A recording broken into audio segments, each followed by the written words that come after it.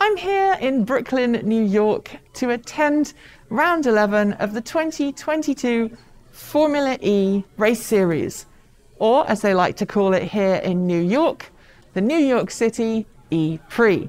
Round 11 is taking place today, Saturday, and round 12 is taking place tomorrow, Sunday, but unfortunately, Michael and I will already be on our way home when that event takes place.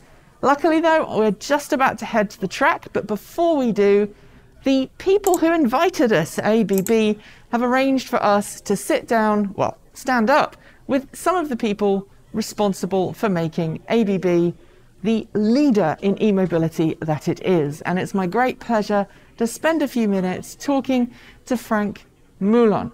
He is the president of ABB e Mobility. Frank, thank you for joining me, and, and thanks to ABB for inviting us to New York for the Formula E Prix here. ABB's been at the forefront of rapid charging mm-hmm. for EVs for many years. Yeah.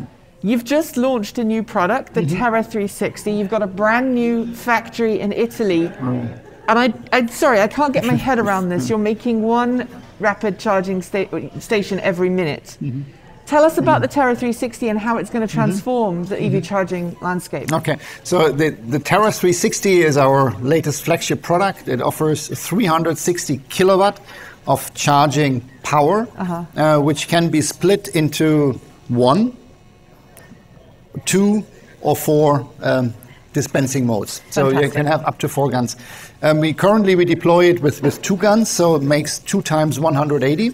Um, it's an all-in-one solution, so you install it in one place, so you do not have uh, the split between power conversion and dispensing.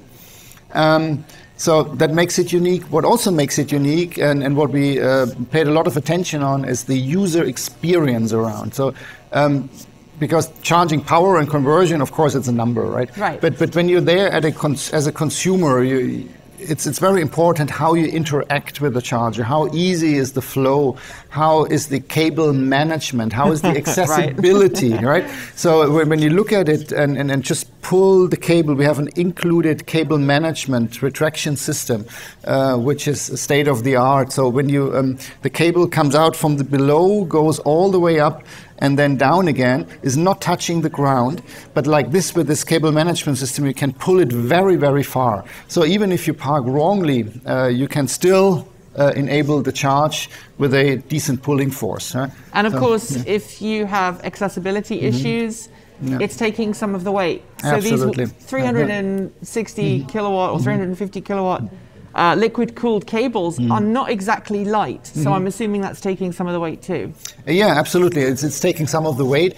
Uh, we also, uh, just to mention that, we, we do the liquid cooled, of course, but we also do non liquid cooled um, uh, with a, uh derated mode. So it means you can have uh, full power for a certain time and then it, it, it starts derate. That enables the charger also without a liquid cooling system. And uh, that, of course, is taking out some cost and some, uh, some, some maintenance uh, topics.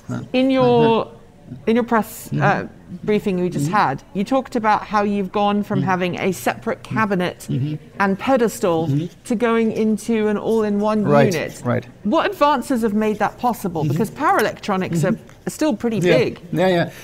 Um, first of all, we we continue to do both, right? So we uh, we managed to do that. Uh, but if you look at our uh, at our history, uh, the first product um, we we had like with three modes, uh, CCS, CHAdeMO, and AC. Is an all-in-one product. The, the Terra 50 kilowatt, which is still deployed in, in thousands, uh, all around the globe is an all-in-one product. Uh, we have just um, when we looked at high power and the uh, the early days of high power, 2017, 18, when the first deployments came with liquid cooled cables, um, the the power electronics were just quite big. Uh, and also the um, let's say from a usability point of view, you didn't want to stand in front of uh, two big machines, yeah? so that is not a good customer experience. Um, so we, we came up with these split systems. Uh, in the meantime, power electronics became smaller, go more to higher frequency, so you can package more in. Um, but still, we continue also doing the split systems. And uh, why is that? Because you have, when you have a split system, you still have a bit a different customer experience. You can make a one-to-one relation between uh, a parking spot and, and, and, and, and the customer and have the conversion somewhere separate. Mm-hmm. Also, when you when you think about huge installations, so not like uh, two or four stalls, but probably 12, 24, and so on.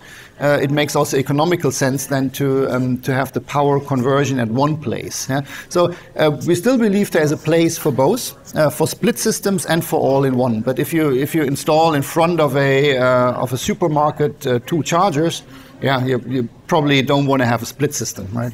There's been an incredible growth mm-hmm. in the reliability of EV mm-hmm. charging stations mm-hmm. across the globe mm-hmm. over the last five years. Mm-hmm. Uptime is much better than it used to be, mm-hmm. but some partners, some charging providers are still struggling to have a reliability uptime that means they would be uh, able to use government funding to help expand their network. What steps is ABB taking to ensure that your customers can have a really mm-hmm. high uptime mm-hmm. to your products mm-hmm. in the in, installed locations. Yeah, yeah. I mean, it's. Uh, I, I fully agree with you. Uptime is critical, and of course, we're all EV drivers here. Right. we're all we're all in this, and, and, and, the last thing you need is, is approaching a charging station and it doesn't work because then you, you, you might be stranded or you have waiting times, and you, nobody wants that. So it's it's really key to have a good experience. Now, um, we are in an industry which is evolving, so um, there is still um, a few bugs here and there, and uh, that is true for us, but that's also true for everyone else. So uh, we believe we're doing a good job out there.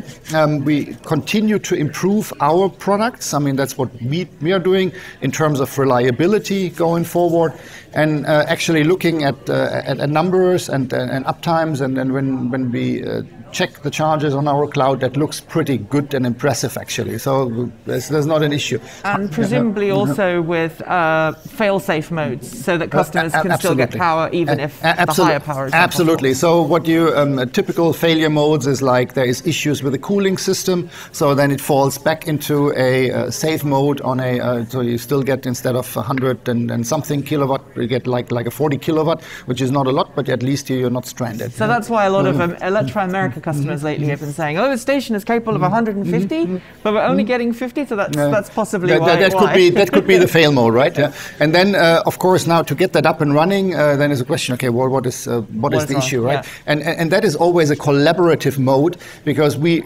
we are deploying the stations. We're uh, let's say with our customers, but then is a question on the maintenance. So who is doing the maintenance? How is that working in collaboration? How is that job done? Yeah? Uh-huh. And it's not always us doing that job, yeah. right?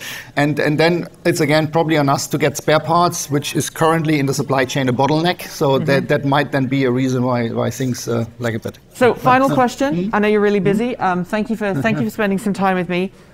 The MCS. Yeah megawatt charging standard mm-hmm. just been unveiled by mm-hmm. Charin. Mm-hmm. It's a new type of connector that looks a bit like a space mm-hmm. uh, space flying machine, like a triangular UFO. It's um, going to hopefully transform the bus and truck mm-hmm. industry. Yeah. What do you see the path for MCS is going to be in the next 12 months? Yeah, I think that the next 12 months we will see the, uh, the, standard become a bit more descriptive, a bit more precise. Uh, we will see more and more prototypes hitting the market as we see now. I mean, most of the manufacturers, um, they, they, they come with some prototypes and uh, also, the, the, the, car manufacturers or truck manufacturers come with, uh, with prototype vehicles. It's all around debugging, interoperability, uh, showcasing that what is possible, and um, uh, convincing uh, potential buyers of these trucks that uh, this is a solution going forward. But I think we were pretty much uh, where we have been with cars like 10 years ago. Yeah? Mm-hmm. So, Do you think it's going to take 10 years for MCS no, to be where no, it is? No, I was hoping no, you were No, no, no, no, definitely not. Yeah, it, all the lessons you've learned from CCS mm. and uh, mm. CHAdeMO mm. deployment, you're already implementing that with MCS? Absolutely, yeah, absolutely. That will go much faster. That will go much faster than with the cars. Because the, the, the original, let's say, slow ramp up, uh, we had with the cars and on convincing that you even can do long journey, etc. So that that is, uh, I think we're beyond that. For trucks, not yet, but uh, we will get there pretty fast. And, and there is an experience in the industry now how to um, how to build chargers, how to build that in scale, how to deploy it in scale, how to service it in scale. And if you if you know how to do all of that at scale, uh, then uh, you will be faster than if you would be completely at day one. Frank, thank you so much for talking to me. I hope you enjoy the race and your time in New York City. Thank you, and I hope you enjoy the race too. Thank you. and thank you at home for joining us today. I hope you enjoyed the video. Thanks again to ABB for inviting us. And thanks to everybody at Formula E for making us feel really, really welcome. If you liked the video, please consider giving it a thumbs up and sharing it with your friends. And don't forget to leave your thoughts below or in our free to join Discord chat room. There are links in the video description. And if you really like this video, why not give us a super thanks? It's easy to do, and everything you do send goes towards helping us make great content. If you haven't already, please make sure you've subscribed to this channel and to our other channel, Transport Evolved Take 2, and give that bell a gentle ding to make sure you're told when our next video goes live. Thanks on behalf of the entire crew go out to everybody who make TE possible. That includes those of you who support us on Patreon and YouTube, as well as those of you who just watch the video and share it with your friends.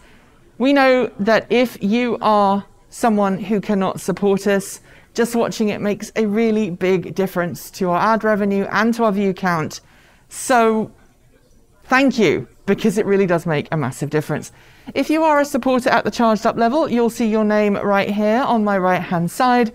And if you have just joined and your name is not there, we are sorry. We only render out those list of names once or twice a month. And there's been a lot of people who've joined lately, so we're trying to keep on top of it, but it's not always possible. Thanks to our self driving tier supporters Chris Maxwell, Pedro Muro Pinheiro, Patrick Boyarsky, Bennett Elder, Brian Newton, Dave Kitchen, Michael Goad, Ricky Leon, Andrew Martin, Guido Drahota, Brophy Wolf, Tesla in the Gong, Gordon C., Stephen O'Donoghue, Kyle Hodgson, Anthony Coates, Regine Fellows, Dan Blair, Jim Burness, Chris Ascenta, Chris and Michael Johnson, Peter Dillinger, and Denny Hyde. And of course, super out of this world thanks to our Starman level supporters Anonymous Freak, Marcel Ward, Reggie Watts, Rory Litwin, Joe Bresney, Reed R, JP Fagerback, Russ, Will Graylin, Matthew Drobnak, Blue Says Hello, Kevin Boroughbridge, John Lyons, Andrew Glenn, Paul Conway, Laura Reynolds, Ellery Hensley, and Ian. If you want to be part of that amazing list, you can join Patreon at the link below. You can hit the join button to support us on YouTube, or show us your support through Bitcoin, Ko-fi, or our cool swag store. There are links below. And if you are unable to support us, just know, as I said earlier, just watching the video and sharing it really does make a difference. We have the data to prove it. So thanks for joining me, and as always, keep evolving.